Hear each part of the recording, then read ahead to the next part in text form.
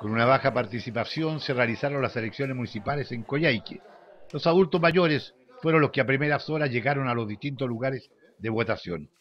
Uno de estos ejemplos lo captó Manuel Ruiz, camarógrafo, quien conversó con don Manuel Jesús Vázquez, de 102 años de edad.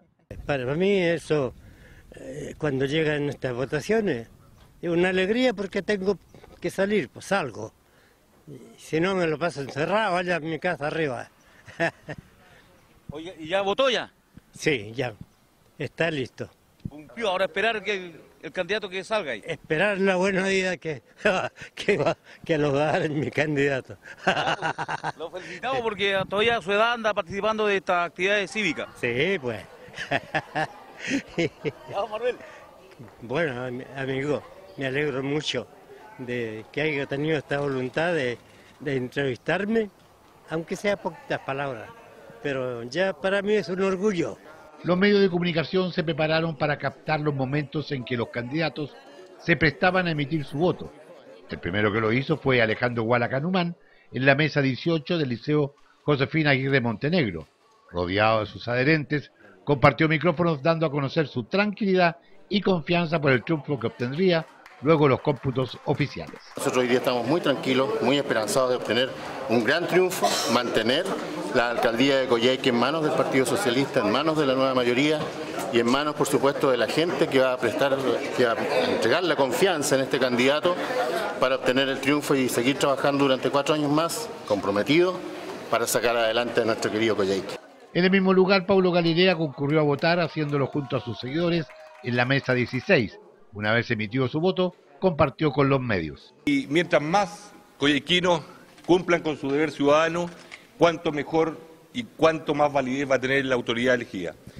Quiero también aprovechar la oportunidad de agradecer a mucha gente que nos ha manifestado su cariño y esperamos, repito, que este acto en que hoy día eh, se callan los políticos y se expresa la ciudadanía sea un acto de ejemplo de un país republicano y que este voto voluntario no sea motivo para que los ciudadanos se resten en participar. Al mediodía en el Liceo Diego Portales, en la mesa 87, el candidato Elson Borges emitió su voto y nos comentó del momento vivido. Muy contento de poder concurrir a sufragar. Esperemos que la mayoría de los coyhaiquinos también lo pueda hacer. Tienen un par de horas todavía, las mesas ya están constituidas, se ve todo en relativo orden. Eh, votar es importante, no da lo mismo por quién votar. Fíjese que los gobernantes tienen un sello unos u otros para poder eh, solucionar los problemas de la ciudad, para solucionar los problemas de las comunas.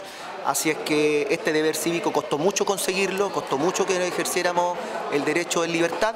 Así es que un llamado a votar, es una jornada tranquila, los coyhaiquinos tienen sentido republicano, los regionalistas tienen sentido republicano, así es que es de esperar que a las 7 de la tarde tengamos los conteos preliminares como corresponden.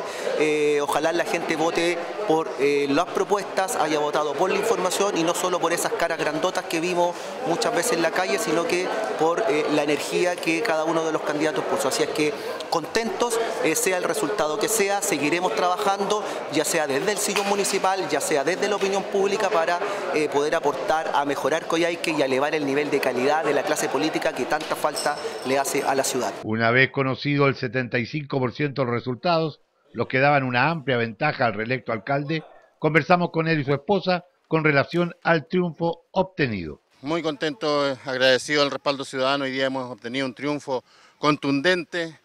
Esto lo tomamos con mucha humildad, con mucha sencillez, pero también con mucha responsabilidad. Entendemos que nos entregan la confianza para seguir desarrollando la comuna de Coyhaique y vamos a colocar nuestro mejor esfuerzo, nuestro mejor empeño para que sigamos haciendo de Coyhaique una mejor ciudad, desarrollándola como la capital regional que es. Usted recibió el saludo también de Pablo y del...